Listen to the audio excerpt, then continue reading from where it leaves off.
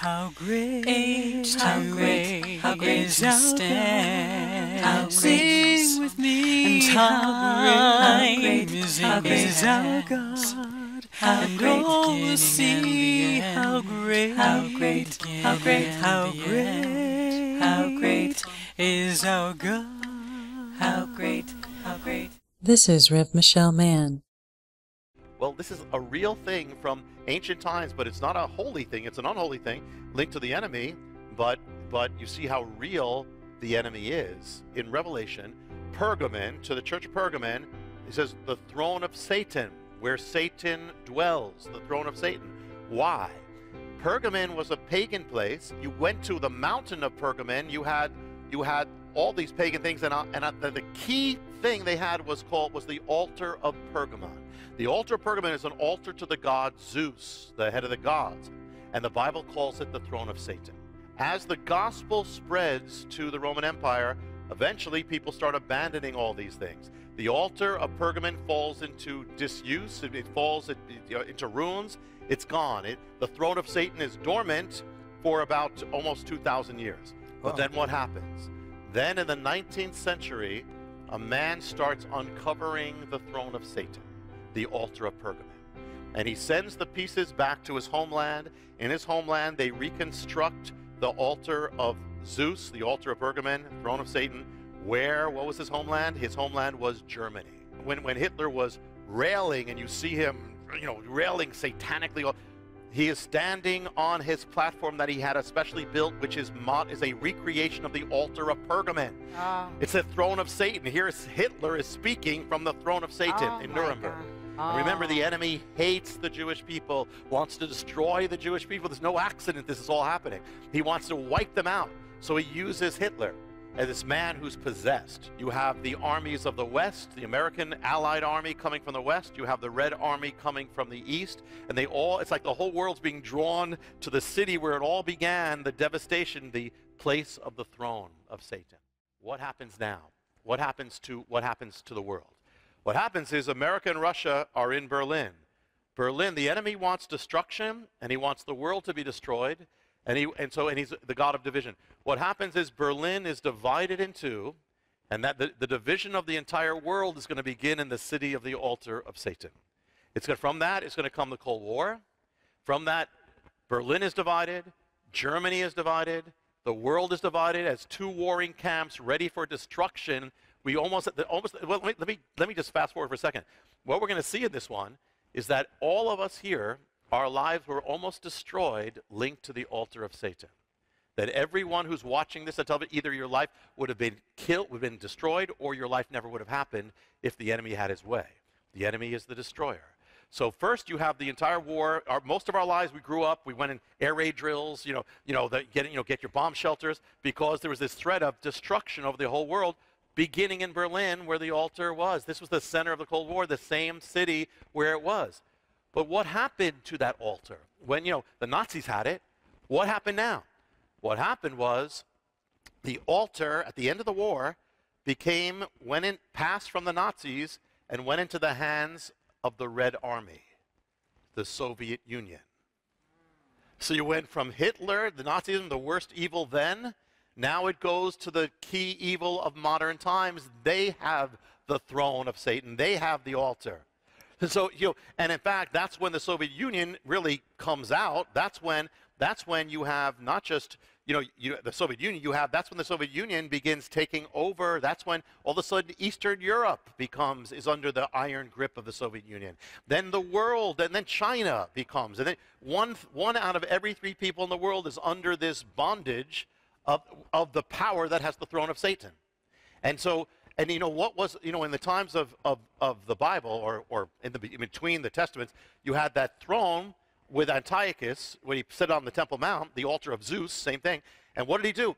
He banned the word of God. He persecuted God's people. Well, what happened all over the world? What happened through communism, which had the throne? They banned the word of God. They persecuted God's people, threw God's people into prison camps, made it illegal to follow God. Same thing. Who's doing that? Satan's doing that. At the same time, the Soviet Union what else are they against? They're against Christians, I mean, communism. What else were they against? They were against Jews. They hate. They were the chief. If you remember, it's not so long ago. They were the arch enemy of Israel. They tried to destroy Israel. They funded all the terror. They funded every enemy of Israel. They start. They helped start wars to destroy Israel. So where, who's that? That's Satan. They hit the throne of Satan. Not only that, in here's something else. In 19 48, now the, now, the, now the altar is still in Berlin, but it's under the Soviet Union's power. But in 1948, they actually take the altar from East Berlin and bring it to the Soviet Union. So the Soviet Union actually has the altar now. Now? Well, no. Well, there's, there's more to it. Oh, my. There's more to it. Where's that altar? Yeah. And so.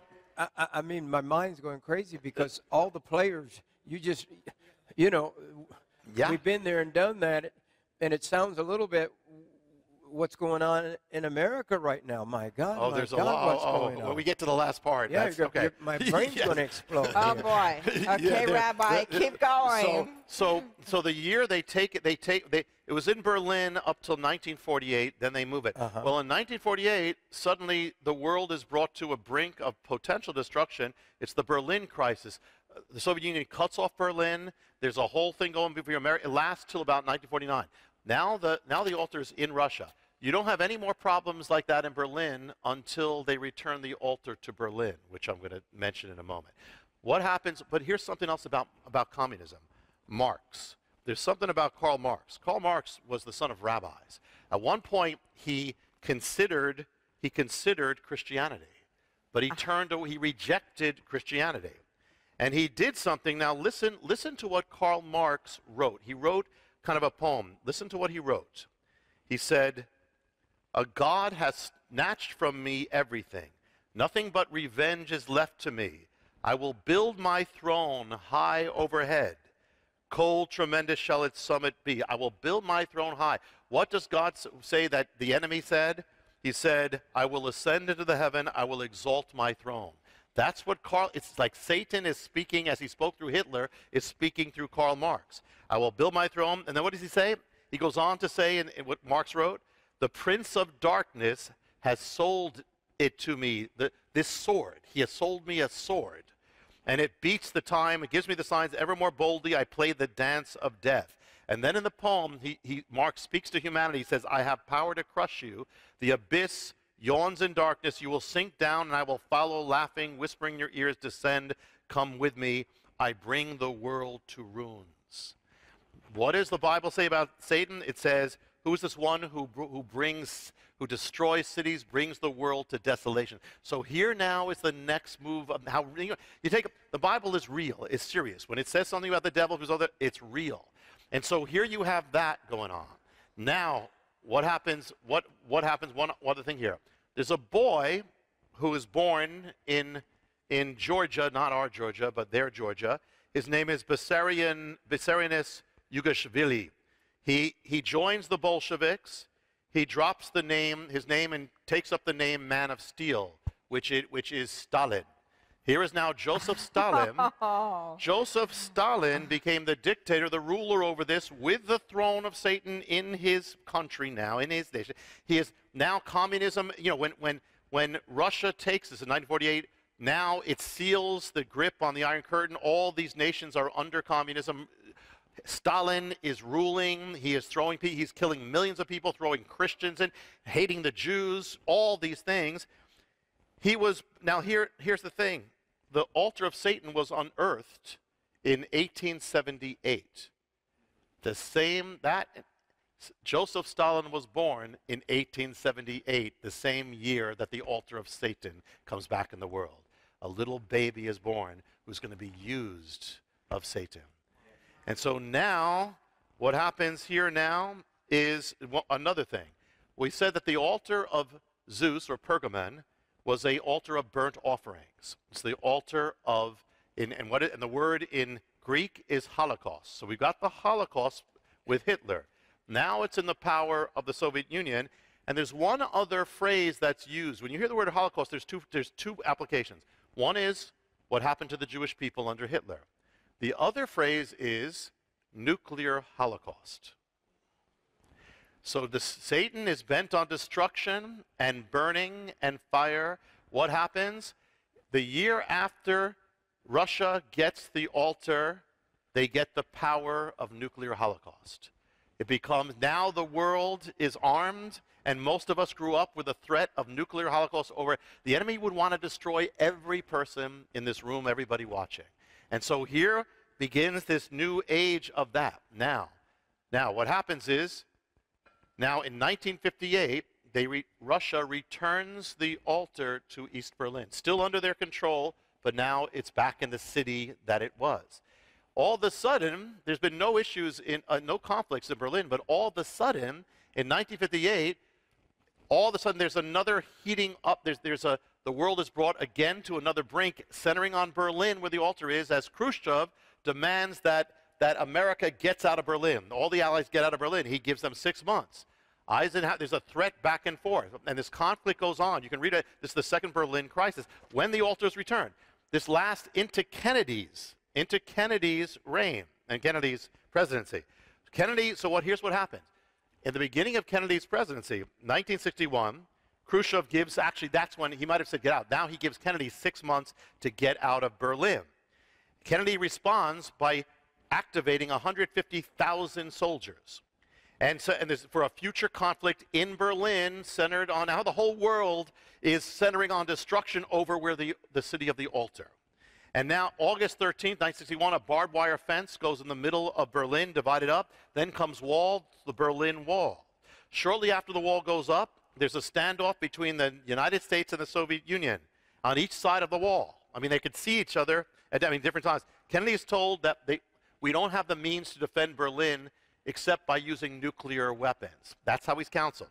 The general next to him says, he says, listen, you might as well strike because it's going to be atomic war, so you go nuclear. America is preparing for nuclear war. Khrushchev is on the other side. They're preparing for nuclear war. All focusing in the middle of it is the altar that would bring destruction. We almost were destroyed, every one of us, that from, that from where that altar was, number one, right there. What happens is, in 1962, next year, which almost destroyed, this is the closest we ever came to destroying the world. Almost wiped out everyone. Here's what happened. In May Khrushchev approaches Fidel Castro to put, to put missiles on Cuba that could strike America. The plans are approved in July. In August, American intelligence begins picking something up. The missiles arrive in September. In October, America has the first photographs of this, confirmed in mid October. The chief of staff in America says the only solution is a full scale invasion of Cuba. October 22nd, Kennedy appears before the entire country. Some here may remember it. And he says that there is nuclear missiles heading, is focused here on America from Cuba, and that any strike in the hemisphere, there will be world war, and we are going to blockade the island of Cuba to not let any Soviet ships coming. China announces they have 650,000 soldiers or Chinese people who are ready to attack in this. You have a world war ready. The, they, America puts a blockade. A Soviet ship goes through it. Actually, people don't realize they actually broke through. They continued working on it. Castro urges Khrushchev to, uh, to send nuclear weapons to America. He's afraid America's going to attack. He says, send nuclear weapons. The world is one button away from nuclear destruction. At the same time, a secret communication goes back and forth between Khrushchev and Kennedy, and even that is on a pit. It can go in any direction, but something happens. It's only at one moment the closest we ever came to destruction comes to an end. And there was a secret in that communication that was never revealed at the time that caused the end of it. And, he, and, and that secret is linked to the ancient mystery of Pergamon. Let me tell you what that is as we bring this home for now. Khrushchev believed that if he put weapons in Cuba facing America, he would have leverage to take Berlin to get, to get America out. So he, it's again that city of Berlin. He wants that city. That's where the altar is. But secondly, the secret story is this. In April 61, Khrushchev is in the, near the Black Sea. He's near his Secretary of Defense or some official who points over the Black Sea and says America just placed nuclear missiles on the other side of this sea focused to Russia. That, we, that they, in a second, you could be destroyed. Khrushchev says, well, wonders out loud, what if we put missiles in Cuba facing America to do the same thing? The United States had uh, placed missiles right outside the Soviet Union in 1961. And so here, here's this what happened. So in April, that's when that's when Khrushchev says, "Let's do it." Then they put the missiles within months, and they make he makes the decision next thing. So the the the crux of the secret communication was Khrushchev said to Kennedy, "Remove those missiles, remove those missiles here, and we will remove the missiles there." Kennedy said, "We'll do it, but the condition is it will never be it will not be made known. We will take it out, but we'll it'll be a secret." So that's what happened. So now here's the here's the thing. The world was almost destroyed by missiles that were never launched, the missiles in this place that were focusing on Russia. Where was it? Where were those missiles that almost destroyed the world? The missiles were in Turkey, the land of the altar of Pergamon, the place where the throne of Satan had always been. The Soviet Union had the altar of Pergamon. This was now Turkey, the place there. Where in Turkey? Turkey has like 80 provinces, 80 states, so it's a lot of small things. They were placed in one small province, the province of Izmir. Izmir is the province of Pergamon. Oh. The missiles that almost destroyed the world were in the throne of, were the place of Satan in, per, in, the, in the region of Pergamon. Don't, but, but not only that, not only that, and here, here you have what is the altar about? Holocaust, fire, destruction. Here the missiles are there in, in the land of that. But here's one more thing. What were those missiles? The missiles that almost caused us to all be gone in the, in the place, in the region of Pergamum, were called, they had a name on them, they were called the Jupiter missiles. Jupiter is Zeus. Oh. Zeus is the god of the altar of Pergamon. It's the altar of Zeus. It's the ah. missiles of Zeus in the place of Zeus, in the ah. place of the altar of Satan. And, and here, you know, it says in, it says in Ephesians 6, 16, it says the enemy throws fiery darts, you know. Well, the word in Greek is for dart or flaming is poro, means to ignite, to ignite, fiery. The word for darts is belos, which means listen, not just darts and arrows. It literally means missile. Oh, oh my So here, flaming missiles from the throne of Satan, over the whole world. I mean, and we've just, there, you know, it's a. We've You see how real the Bible is. How oh, real, Oh, you know, people, when God, you know, when I, when I came to the Lord, and people said, I said, I said, okay, I believe in God, but Satan, Satan is real, so real, and you cannot, you have to ignore history, ignore the Jewish history and all that. It's real, there's a real force. So let me just bring, before we, I mean, another time we will bring it forward to what's happening about the end times and this altar. But before that, let me just give a word from this quick word, and that is this. Number one, what does it tell you? Everything the enemy ever presents you with in your life, every temptation, don't make no mistake about it, it is there to destroy you. Every, everything, no matter how good it looks, no matter whether it's money, whether it's temptation of sex, temptation of an affair, it is to destroy you.